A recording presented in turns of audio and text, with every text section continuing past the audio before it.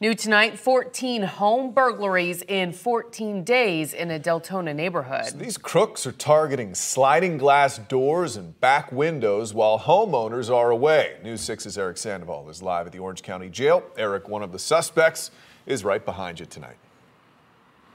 Yeah, he is. He was booked here, but he's supposed to be sent to Volusia County to face those charges, Matt. We spoke with one of the victims of this burglary spree tonight, and she tells us thieves even targeted her child's piggy bank.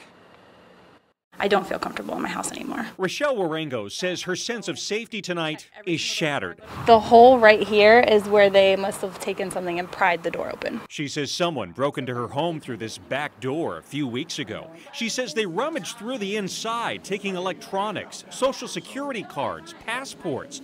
And she says they even targeted her child's bedroom. Your child's piggy bank mm -hmm. was mm-hmm. stolen.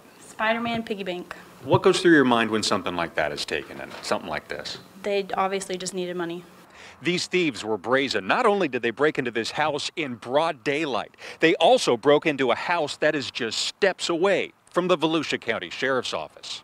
Investigators say it didn't take long to connect this crime to 21 year old Gabriela Soto and her boyfriend Desmond Watson. Deputies say they suspect this couple broke into 13 other houses within a two mile radius in Deltona over the course of two weeks. Tonight, this mother says she's still worried about her family's safety and she's tracking the two people arrested.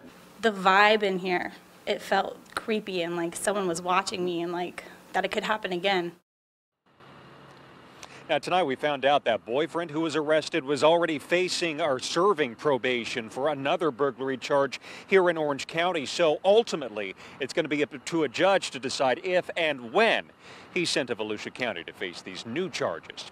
We're live at the Orange County Jail tonight. Eric Sandoval, News 6.